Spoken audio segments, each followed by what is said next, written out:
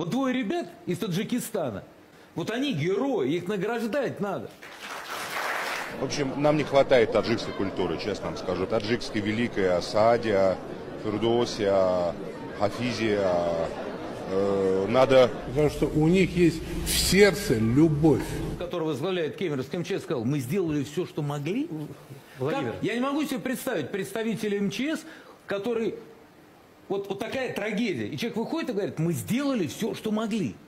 А что вы сделали? Вот двое ребят из Таджикистана, которые спасли там несколько десятков человек, там больше 30, там под 50, да, вроде они спасли. Фотограф 30 жизней Да, вот спас. они сделали все, Да, что могли. Вы правы. Мальчик, ну, молодой человек, фотограф, вот он сделал то, что Вы мог. правы. Мальчишка 19-летний, который вынес троих деток, он сделал все, что мог.